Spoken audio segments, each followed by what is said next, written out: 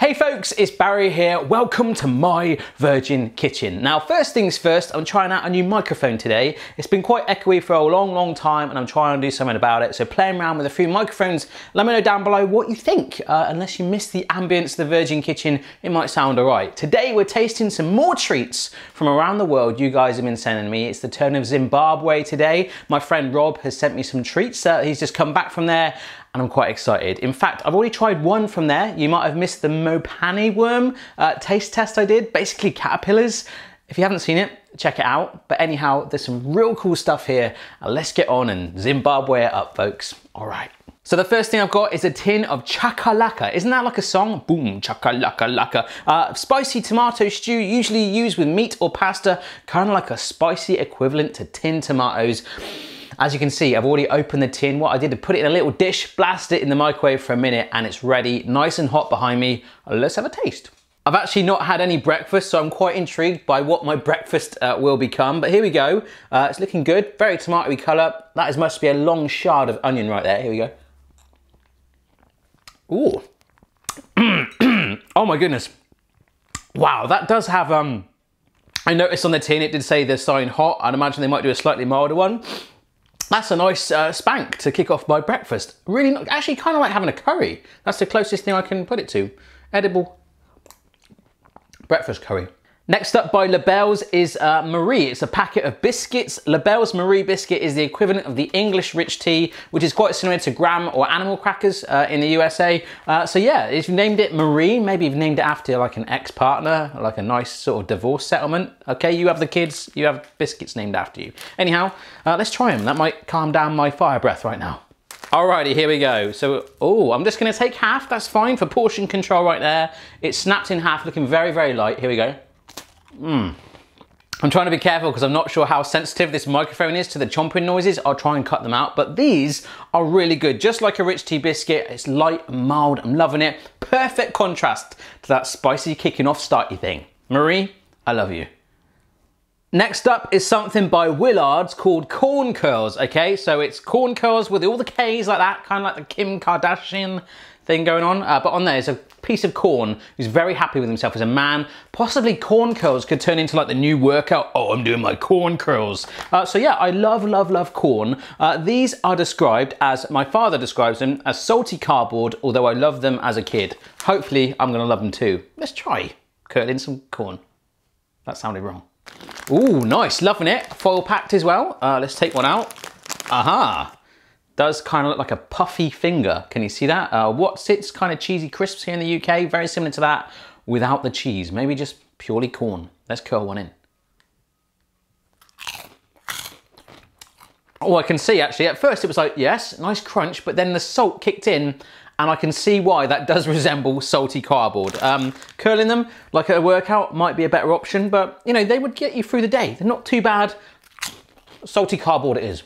This one is called Charon's Milko. Uh, as I'm seeing right now, quite normal, uh, unintimidating packaging right now. Loving the Zimbabwe feel right here. Apparently this is like a chunky uh, Milky Bar, which is one of my favorite chocolate bars. So let's see, shall we?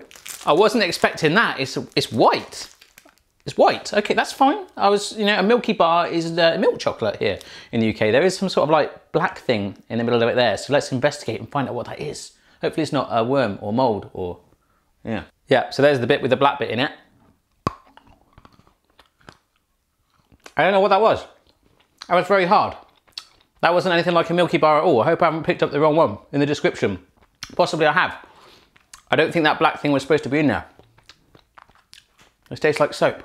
I've just read the description again and it said Milky Bar, not Milky Way. A Milky Bar was a white chocolate, but it does still taste of soap.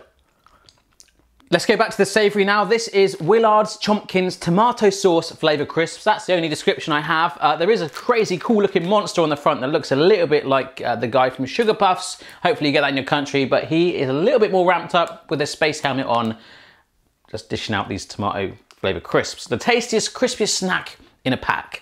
Let's find out. Oh, it's even got the Sugar Puff man doing his story on the back. Hey, hey, hey, what a day. I feel fit and strong. And what is this? A caper craft, a safety gear. What's all this for? I fear. No, no, I know. That sounds like a really bad rap song. Um, adventure continued on the fruit chutney pack. They do fruit chutney flavor of these? Amazing. Let's get the tomato going though. Ooh, kind of like a slightly mild of our boom chaka laka laka laka smell going on right there. Aha, I see. They are nice and thin uh, potato chips, kind of like Lay's and Walkers here in the UK. You know, just thin sliced. Most uh, crisps that I've tried from around the world tend to be a bit more extravagant and out there, all different shapes. A bit like the corn curls, really. But these, I know I am. There's a little shade of pink on there, 50 shades of crisp, uh, if you will. It's going to be tomato flavored, as we know, but it's not seeming intimidating. I'm liking it. Mmm. Oh, that is very, very nice. There is a little nice sort of sweetness to it, a nice little chinky spank. Chompkins, Chompkins, imagine if that was your name at school. Chompkins, sit down right now and eat your crisps. They are delicious and sweet and mild, a little bit nicer than shakalaka laka laka, unless you want a spicy kick. Next up is something called biscuit. Uh, I was thinking, you know, you open the wrapper and it is just a biscuit. That would be amazing marketing. Uh, but this is milk chocolate with crisp biscuit wafer. Now we don't normally call a wafer biscuit here in the UK, but possibly this is a new type of wafer. Ooh, crazy. Let's find out. Oh, here we go. Nice thin chocolate rectangular thing. Just gonna bite straight into it. Mm-hmm. It's not too bad. I've almost got a little teeny vibe of coconut in there, possibly not even in there whatsoever, but the wafer is just like the standard wafer we get here. Uh, so there's no real biscuit in there, marketing fail, but I'm loving it. Apart from there is a mild cardboard twang working its way in. Could be the aftertaste of the corn things, but I've tasted better. Next up by Baxton are some apricots. Uh, Rob says vaguely peachy flavored sugar if my memory serves me well. So flavored candy mallow treats. They uh, do look like a little bit like bottoms actually. Uh, apricots. I couldn't see any apricot flavoring mentioned on the ingredients behind. There's lots of codes like E330 and E211 and lots of other stuff like that. So I'm sure combining them together does create the flavor of apricots. Uh, they do look pretty cool though. Yes, they do look like bottoms. So uh, bottoms up, shall we? Oh, crikey. You do get a very mild fruity scent right there, but one thing that is coming out more is like that real chemical scent. There are some serious flavorings in here, and I don't know if they're all listed on the back. So anyhow, uh, let's get one out. Can you see that sort of contrast, the bummy thing? There we go. Um, it's very firm, actually, really firm, like a rock. I was expecting it to be a bit softer. Let's have a taste. So uh, let's bite into the bottom. Wouldn't be the first time I said that, right, Mrs. Barry? Uh, anyhow. Oh, I kind of made a pirate face then. It wasn't as hard as it looked. Mmm. Mmm. Wow. Oh my goodness, that is like a sugar overload. I feel like I should be Superman right now, flying, circling around my kitchen like a fly trying to escape. Uh, there's like crispy shell around the outside, quite a thick girth to it. But in the middle, no, that's still tough. But when it was in the mouth, a bit, a bit of moisturizer, the fluidness of my saliva, moisturizing it, I don't know where I'm going there. My saliva softened it up and it became very soft, but it's very, very sugary.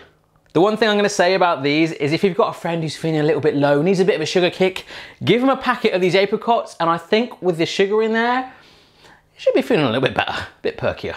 So this is uh, by Unisnacks. It's called Salted Maputi, and at first I thought it was coral from the sea. Amazing. Uh, but it's actually uh, popcorn. Maputi, uh, yes, traditional popped corn. See this video made by a mate of mine, which I'll check out later. I don't have access to videos right now. I'm in eating mode. Uh, but salted Maputi. Maputi sounds like what you might call your uh, your other half. She's Maputi, yeah.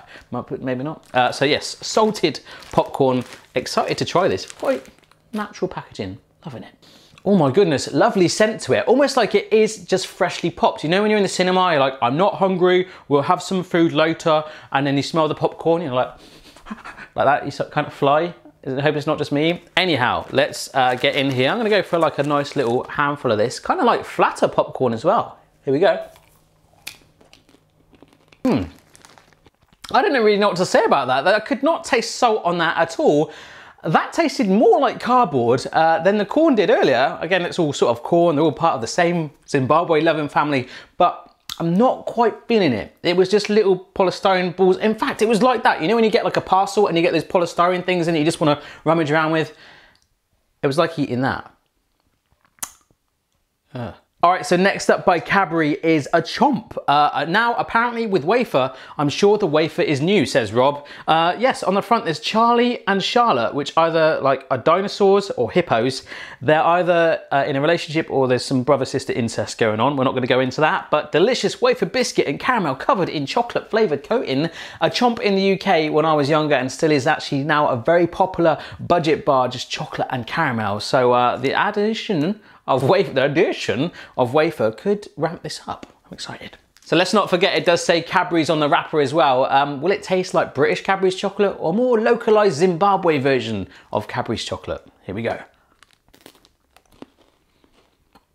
Ooh. By the Zimbabwean nose of a sniffer dog, that is incredibly good. Uh, nothing like the chomp we get here in the UK. The chocolate wasn't like Cadbury's, I'm afraid, but um, it's, it's nice it, it's good. It's wafer and caramel around that chocolate. Lovely little crunch to it, and possibly the best thing I've had so far. I'm gonna have some more chocolate right now because I can. Uh, Slam is up next, which does look like uh, it's been slammed in packaging. It's kind of like mangled. Uh, Slam, a budget Mars bar, or at least it used to be. It could be something completely different. It could be a block of cheese now. Let's find out. Oh, okay. Wow. that is proper Joe Mangled right there. Can you see the caramel on there? Oh, wow. I'm excited. Ooh, that's gonna like motivate it? No, I'm just gonna eat it sensibly. Yes. Mm, yeah. That is really, really good. The only thing I'm gonna say, it's a teeny bit drier than a normal Mars bar. It could be because it's got swished or slammed uh, in transport. The, like the caramel is oozed out the side, so it's mainly more sort of slabby, the firmer bit of chocolate in the middle. Teeny bit drier and powdery than what I'm used to. Not so much milk content in there. It does seem like that, but very, very nice.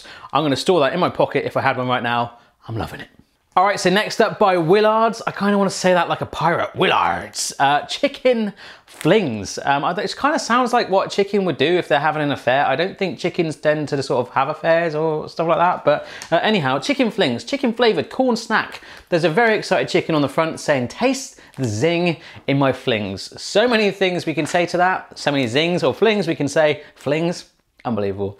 We'll just skim over that. Uh, there's in fact on the back there's an address and phone number for any customer services, any complaints. So I might actually give this number a call, 2634 620 410 if I do have uh, a complaint. So here we go. Let's uh, let's try chicken flings. Uh, what's the description here? Uh, more salty cardboard. Amazing. Here we go. Alrighty. That does smell like chicken actually. Not great chicken, but you know, chicken nonetheless. Kind of like old school chicken nuggets. You know, when it used to be 2% chicken. They've got a lot better now, right? But um, yeah, still used to be so good, right? But they are just like our corn curls. They are little, little old lady's fingers. Oh, hello, young man. Let me touch you. Uh, yes. But with a scent of chicken, I'm quite excited. They might have just sprinkled chicken stock cube on it, but here we go. Like a moustache. Hello, how are you doing? Yeah, I've got to agree with Rob there. That does just taste of salty cardboard. At the minute it hit my tongue, it kind of dissolved straight away and became one with my tongue. It could still be on there, uh, but the taste is just pure salt. The smell is incredible. If it tasted like what it smelled like, it would be amazing, but it just kind of melted away. And uh, I'm a little disappointed by that. I might have to ring the number on the back. Um, yeah.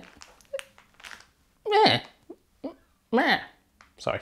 Next up by Pascal are some chocolate caramels. And just like a successful Zimbabwe businessman, they're rich and creamy. Uh, Rob says, these always remind me of my grandmother who loved these, even though they used to pull her dentures out, which is an amazing vision. Uh, rich caramel infused with smooth chocolate, made by Pascal, which reminds me of a French student that we once had. We had some French students come to our house and I told them, little side story here, it was a tradition to put vinegar on your rice pudding. I was a little bit mischievous back then. He did it, Pascal didn't speak to me for the rest of his time in the UK. So Pascal, if you are watching, I am je suis désolé. I am sorry. Uh, let's open these up. All right, so they're individually wrapped and I'm just gonna go twist it like that, take the one out. Well, here we go. They do look like pretty nasty medieval looking toffees right there. If they had toffees in the medieval times, I'm sure they did. When they were defending their castles, they were like, let's break now guys, let's have some toffees. Here we go. Mmm. I don't know why my fists are doing like that. It's making me do that. The chocolate is inside of the caramel, so that intimidating medieval looking entranceway was met, was met, was met with a chocolate pathway to heaven. Almost an R. Kelly moment. Almost. Almost. Last up is a lunch bar, which Rob says is just like a Lion bar. I am so excited for this. Um, made by Cadbury's as well. Cadbury's chocolate on top, optional. Hopefully it'll be nice. Let's have a try. Oh wow, yes. It is looking like a Lion bar. It's got that nipply bumpy bit on it, ram packed with stuff. I'm excited. My mind's telling me no.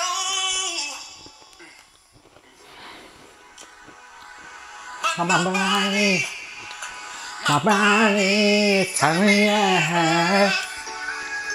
Oh my goodness, we had to cut the music then. R. Kelly moment, biscuits, wafer, caramel, peanuts, chocolate. Not Cadbury's chocolate UK version, but that was fine. So, so good. An R. Kelly moment on that bar, the lunch bar. So, so good. Zimbabwe treat tasting video is all done, guys. If you missed the Mopane worm video, uh, check that out. That was a little bonus uh, that I did last week for this one. If you would like to send me treats from around the world from your country, go to myvirginkitchen.com and use the contact form and we'll get in touch and communicate and stuff and check out the other taste testing videos I've done from all around the world. We've done loads so far, so have fun getting stuck into that playlist and um, that lunch bar was proper R. Kelly-tastic. Cheers, Rob, for sending that over, and I'll see you next time.